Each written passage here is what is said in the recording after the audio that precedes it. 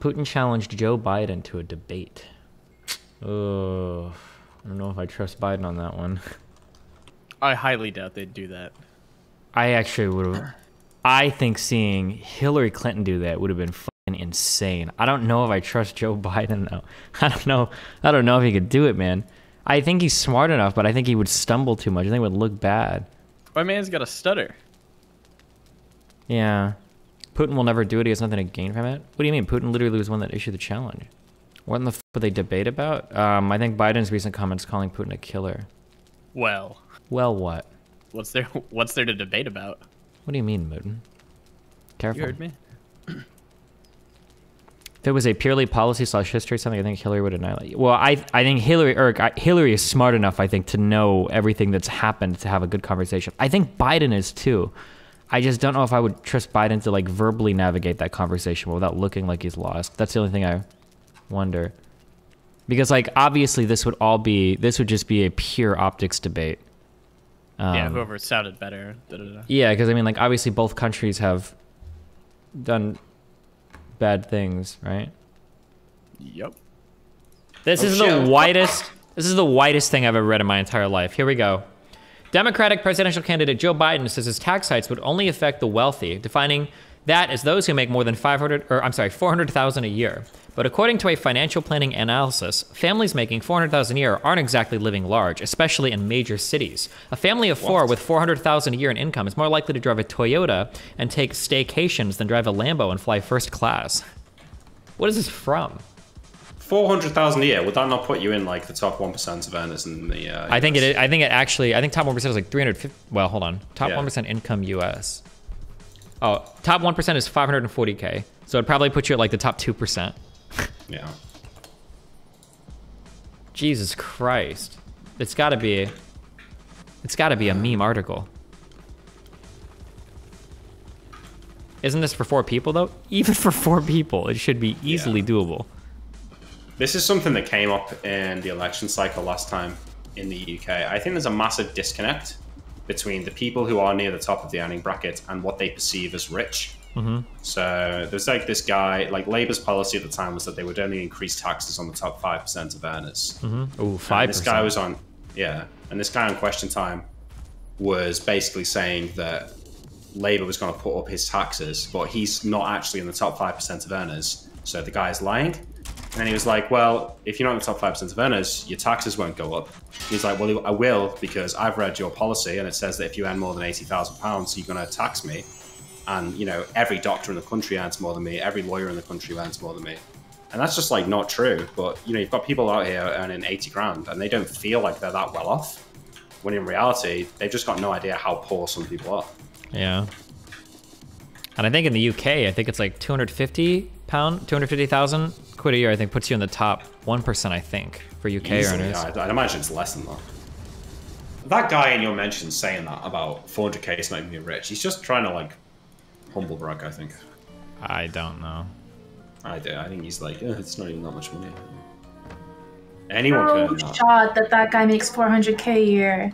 No shot. Because if he made 400k, then why is he like wasting his time on Twitter in Steven's replies? True. Doing something more productive with his life? Yeah, you I so, don't know. huh? Like, if he few really makes that much money, shouldn't he be like in Hawaii? Or like, what? I don't know. I know, suspect if you did the statistics properly, I suspect that that medicine, independent of public health, kills more people than it saves. I suspect.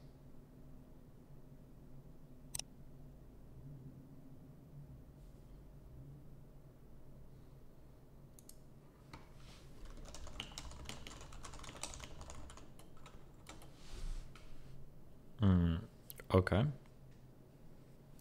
Suspect if you if you factor in phenomena like the development of superbugs in hospitals, for $5. example, did the statistics properly, I suspect that that medicine, independent of public health, kills more people than it saves. I suspect if you if you factor in phenomena like the development of superbugs in hospitals, for example, that overall the net consequence of hospitals is negative. wait, wait. What about? What about like all the actual bugs that were just like mass killing people before like medicine and shit? What about like measles?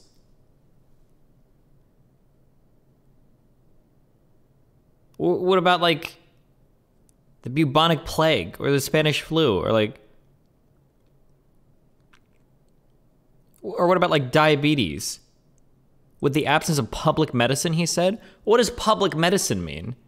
Is he just saying pu- is he just saying public health so that he can say well all the good stuff counts as public health and then every there's and then there, what is what counts as medicine versus public health? What does that even mean? Like do vaccines ca- not count as medicine because it's public health or Now that's just a guess, and but it's and and it could easily be wrong, but it. it also why could- does he make statements like this?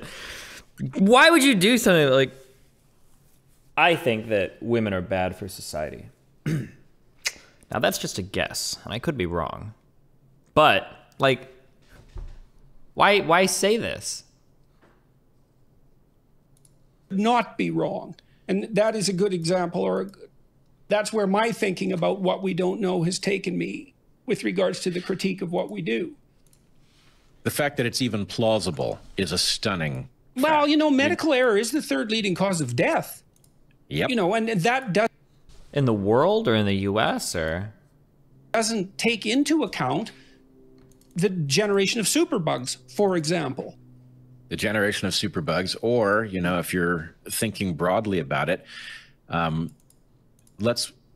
I, I don't know where you stand on this issue, but I have been um, tracking the lab leak hypothesis for COVID, and it is very distressing to me that as much as it's an unsettled question, the evidence for the lab leak gets stronger over time. All of the competing hypotheses fall one by one and are replaced by some alternative that hasn't yet been falsified.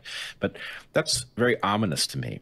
And if this is the case, if this was a, a bug that was modified in the lab through gain of function research and escaped, then you have to add that to the balance sheet why does this how what like what one this is like what's the meme like what one SJW does to a motherfucker like what the fuck what happened If we want to defeat capitalism, we are going to need a party that will organize working people to fight for the demands that we want and to win socialism.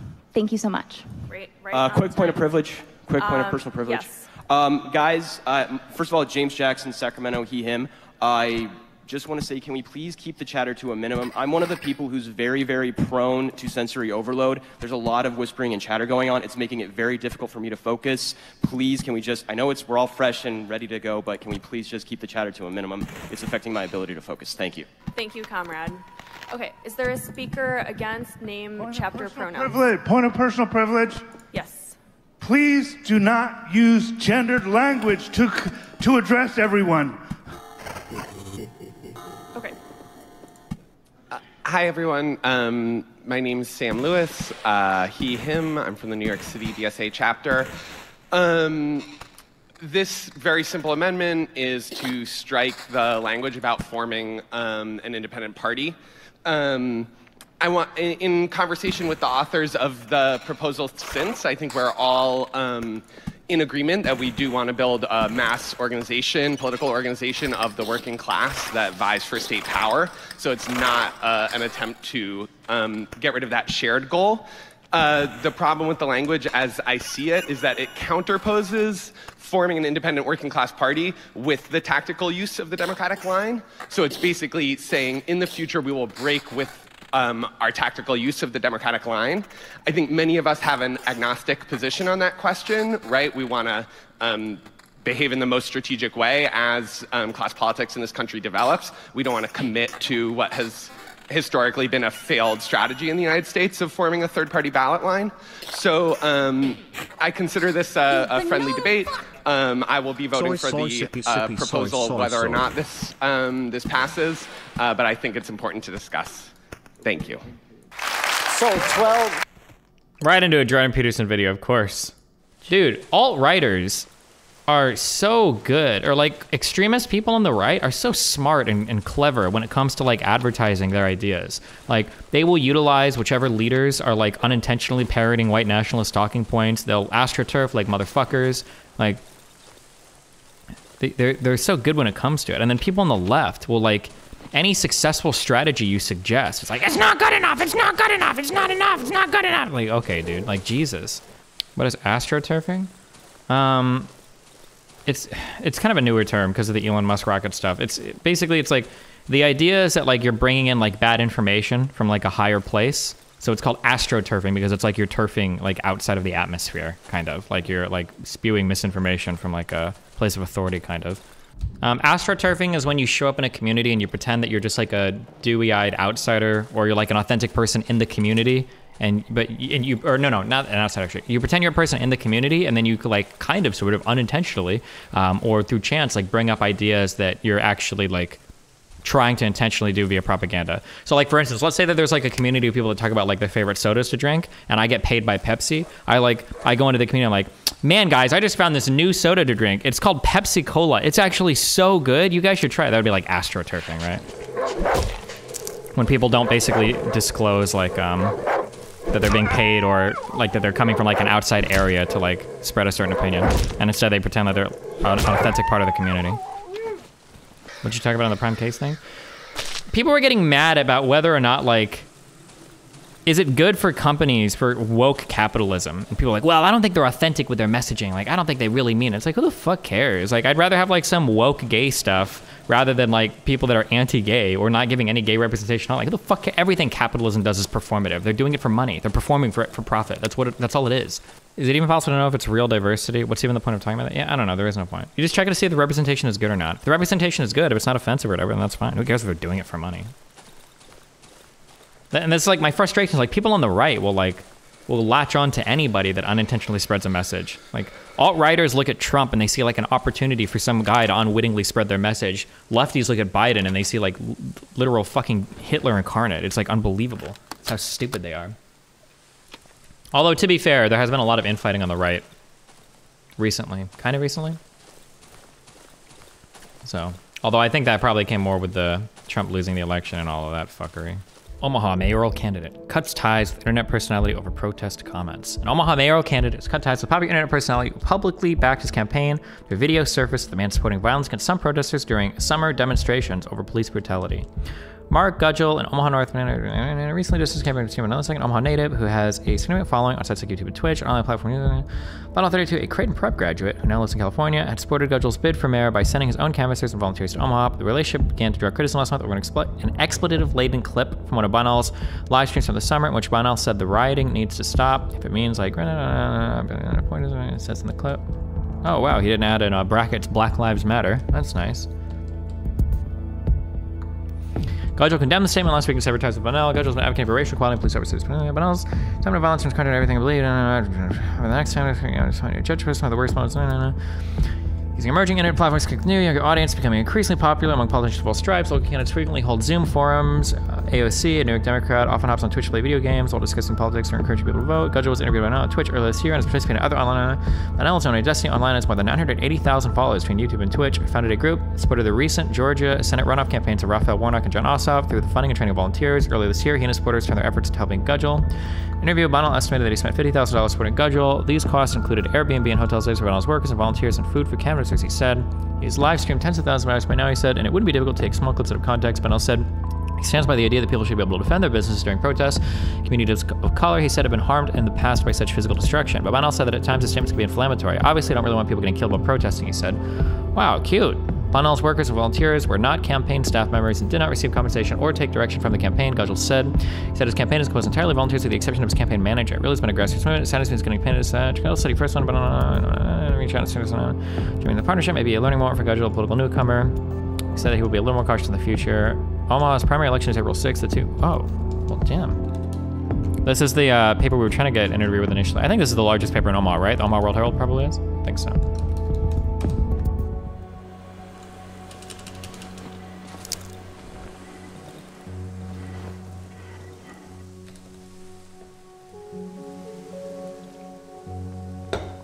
Charlie Hebdo with a Sweatstany cover for the magazine.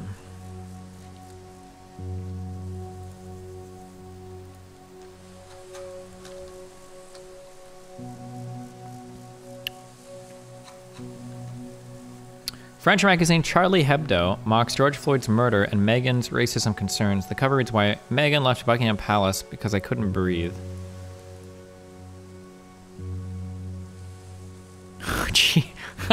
Holy shit! That's a. That's definitely a comic. French gamer moment. She did say I couldn't breathe, right? Hold on, let me this real quick. One sec. But hang on, hang on. Before we move on, though, I, this this should normally be the duty of the friends or boyfriends of the women who are going to these bars and clubs, right? If you're worried about the safety of the women that you're with, you would walk them home, and then you know, being a chivalrous gentleman. What's everyone's uh, mining That skill? was Yeah, but we don't live in Saudi How do we Arabia. Women are free No, to go that- out on their own. Uh, You should debate Sam Hyde, who's unironically becoming a Coach Red Pill clone. I think Sam Hyde is unironically like a fucking Nazi. Holy fuck, dude. When he, um, a few years ago when he got kicked off Adult Swim, and then that convo leaked between him and that person on the phone, and he was talking about how like the Jews were controlling like the, uh, the Adult Swim media and shit. Oh my god. He donated to the Daily Stormer. Yeah, it makes it sucks too because it like it's really changes the way I view a lot of his skits now. Because before they were like, God damn, this is some funny edgy shit, but now it's like, oh no, wait. I don't think this was him being edgy. I think he's just really racist. like, oh no. Where's the one with the black guy like pushing the boulder up the like? Oh man, I don't know, dude. Yikes.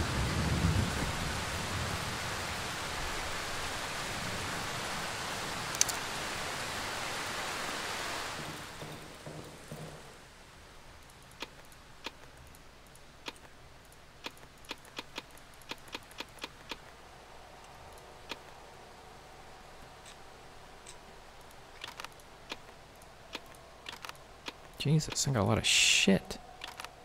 Whoops. I can pick that up. Or throw that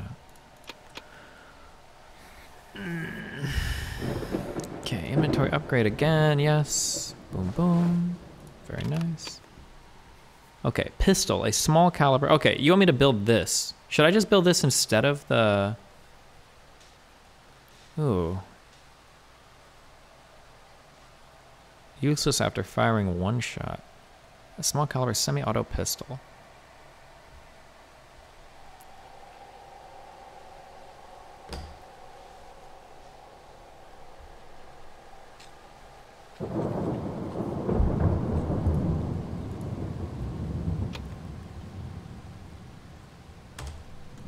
Alright, I don't think I have that much...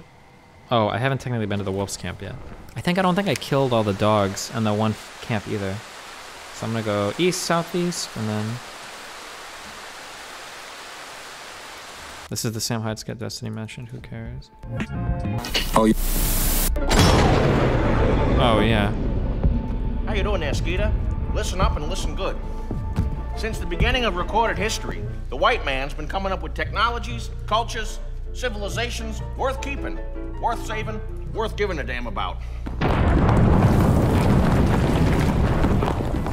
Thank you, white man, for inventing the computer, the microwave, medicine, electricity, sanitation, theory of evolution, the radio, the pencil, Western law, cotton candy, freedom of speech, the sewing machine, discovery of DNA, the atom, discovery of the cell, the camera, Christless, and we was king.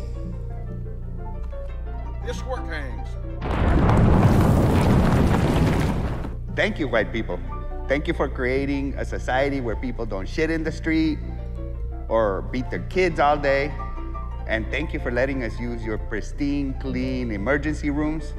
And thank you for all the free money. Oh, and by the way, did you know I'm one eighth Hopi Indian? I don't give a fuck about that.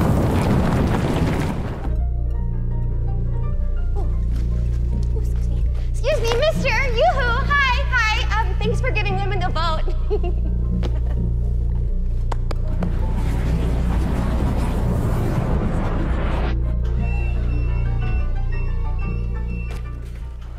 What Oh, happened to your boulder, Goy. I don't know. I wasn't looking. Next thing I knew, boulder's gone. I guess I'm a stupid Goy. You're white. hmm Like I thought this was just like some crazy, edgy, stupid, funny like satire shit, but I'm pretty sure it's just this is just what he actually believes. Fuck, holy shit! Watching a lot of these skits in retrospect is like, god damn, what the fuck?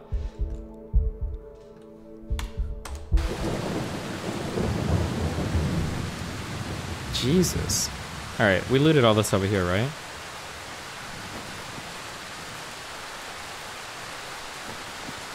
What is um what's the name of the thing?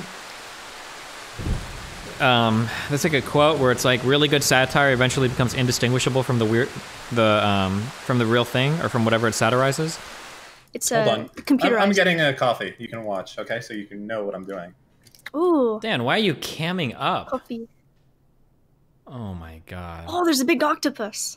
well, crazy. it's a Jewish thing, yeah. It's a squid. It's a Jewish thing. Mm-hmm. Wow. I didn't know that. Yeah, neither did Dan until some fucking Nazi trolled him into drawing it on his back wall. Oh. He has a, a monkey, or is that a cat with a, a, a helmet on? It's a cat. It's his Okay. persona, actually. It's supposed to represent him when Oh. he's like in the, I don't know what they call it, their like set or setting or environment or something. He's got like a Mhm. special word for it. Oh, nice. Do you know his like um his process in getting into his persona? I, I, he, Alfred has shown me once. So, oh god, if somebody has the clip of it. So upstairs, he has a second floor of this, which is where he lives in his like fur palace or something. I don't know what he calls it, but it's like it's really weird. It's really gross. Um, and he, okay, this is like, I feel kind of bad sharing this. Okay, it's kind of gross. But Dan just, Dan would just dump kitty litter all over the floor upstairs, and he would just do Oh. this over and over again. And that, and the whole upstairs like his little kitty litter fur palace, and it was just the grossest thing in the world. And he actually accumulated so much fucking kitty litter upstairs. If somebody has a clip, his fucking roof collapsed one day because he had so much. Does anybody have the gif of Dan's kitty litter roof coming in? Anybody? Actually true? Yeah, hold on. I'm, I'm, I'm sorry. It sounds like I'm fucking with you a lot, but I'm not really fucking with you here. Where is the? Somebody find the. Somebody give me the the GIF. Hold on. Can you show the Discord? Oh yeah. Wait, can I show the Discord? Here, I'm Wait, sending you a message. sure. Okay, thank you. Oh No, no, no, gosh. no, no, no, no, wait. Somebody gave me a stupid meme. Hold on. You're banned for 1,024 hours. I just want the actual clip of his roof collapsing. Sorry, one second. Oh, it's okay. Take your time. Is that a what is that big black um box uh next to the kitchenette?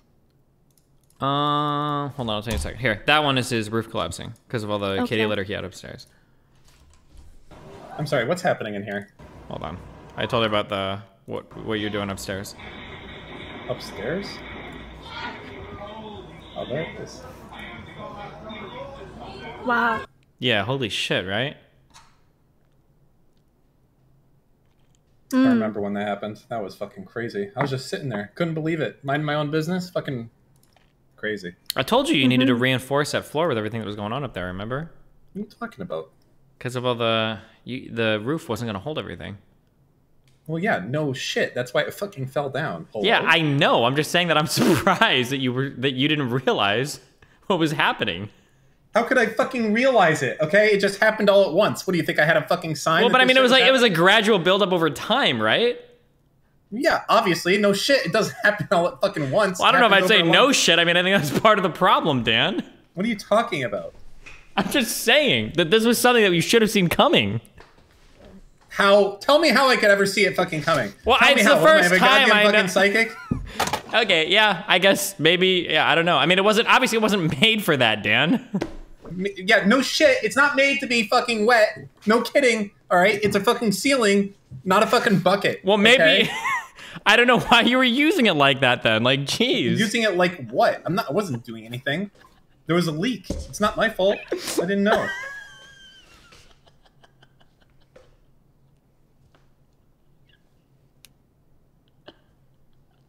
I don't. I feel like you're fucking with me. Like, I'm sorry. When you have a leak in in, in your roof, you know about it instantly. Well, that's why they normally put a box underneath it, Dan. The fuck are you talking about? So that it A doesn't fucking underneath what? leak through. Yeah, No, usually you. cats No. use boxes. Wait, what? Cat? Usually, What are you talking about? Cats? Hello? Wait, what did Steven tell you? This is okay. Let me be clear. Above me, right here, this is it's my way roof. too late for that, Dan. This is my roof. Okay, there. If there was a leak, the rain, okay, seeped in. Okay, over time, I didn't notice until one day, minding my own business, the fucking roof collapsed. the rain Yes, the rain. or the urine. No, not the urine. There. Do you see a way to get to a second story in here? There is no way. No. I mean, let me inspect your house. How am I gonna? There's nothing to see. You hear him? How? How? Look, look there's nothing.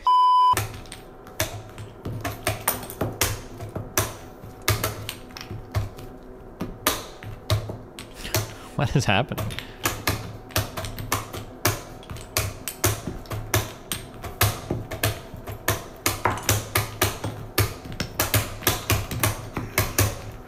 Fuck.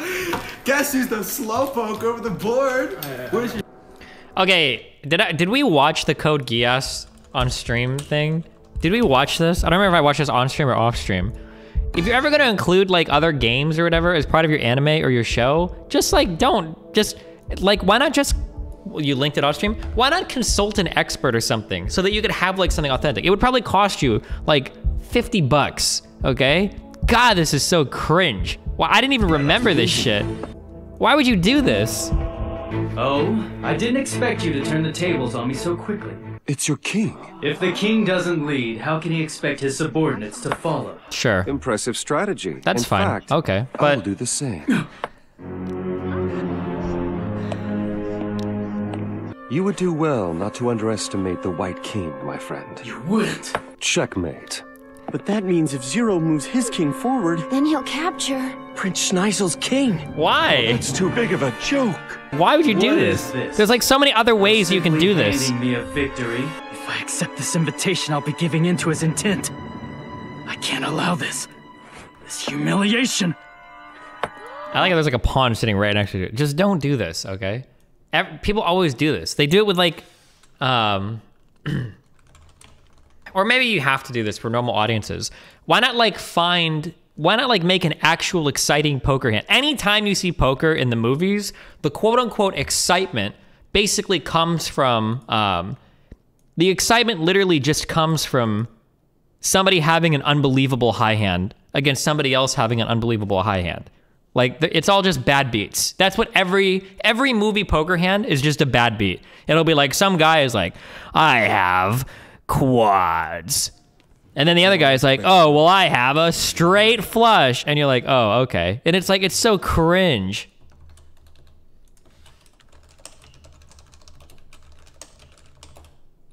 It's sometimes a bluff.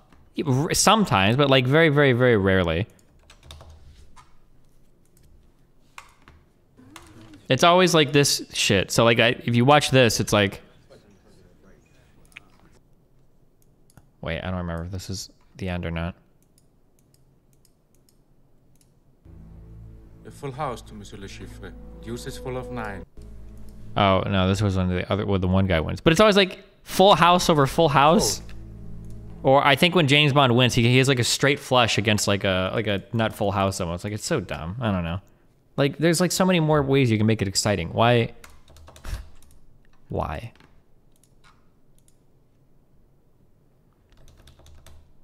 The Queen's Gambit, they did a really good job. They had an actual chess game. Also, in the first Harry Potter movie, there's a really cool puzzle that they had a GM set up for them. Yeah, like why not do something like that? Or even like I feel like the thing is too is like chess has so many interesting personalities and shit. Like Using origin references the upstream version of a branch for example what you and everyone see on GitHub. Local branches are snapshots of that branch at different times upon which you can make changes. Make shorter commits and push your changes often it helps. Wow. It feels like chess is so rich with like different players and personalities and like history too that it feels like you you could even get like a, a nice Easter egg, or you can get um, you can get like an interesting allegory by picking a certain professional game. So if you have like a character that's supposed to be like very arrogant or something, then you pick like an arrogant chess player and you find like the master championship finale of something, and then you copy those moves, and then like it works really well as a metaphor too or something. I, I don't know, like it's so I don't know. Ugh, there's potential there. Don't just don't be cringe. Is that too much to ask? Okay, sorry.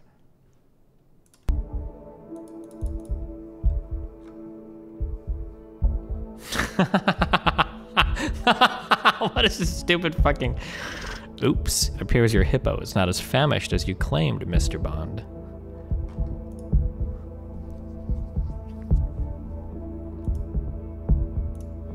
I remember I got in such a huge fight with a guy, Sam, Samuel, I remember him. I think we were in sixth, no, we were in fifth grade. And um, I think it was the same year that some dumb Godzilla movie came out. We went to play, we were playing chess in the back because we were on like a free period, but we were like still in grade school, so we have to sit in the classroom or whatever. And we played chess, and it, and it got to the point where like he clearly, he didn't know like what all the pieces did or something dumb. So obviously I get to a point to where like I've almost checkmated him, but he's like, no, I can't lose now. Like after I had him checkmate, I was like, well, of course you're gonna lose, you're, you're mated. And he's like, no, you can't capture the king. You're not allowed to do that in chess. You can't take my king. And I'm like, what? And he's like, yeah, you can't take my king. And I'm like, wait, well, how the fuck is the game ever supposed to end? He's like, it doesn't matter. Like, you can't take, you can't take my king. And then we argued until the teacher came over. She made both of us stop playing chess. I get salty. Fuck, fuck you, Sam. You know who you are. The only thing I'll say is that with poker, it's a bit more difficult to draw suspense or engagement without simply showing a really obvious, insanely unlikely bad beat. I'll see what to do this with chess, but it's possible. Poker moves are always but that's not even true because these are all like animes anyway. American movies borrow a lot. Well, I'm not gonna say they borrow from anime, but like American movies do the anime thing where you have like two people facing off and there will be like a hot girl or some wise old person watching from the side and he'll be like, oh no, like if Jeffrey, uh, if Jeffrey doesn't go all in here, he's not gonna have enough chips to call blood. Like the, they, there's always people on the sidelines like explaining everything anyways.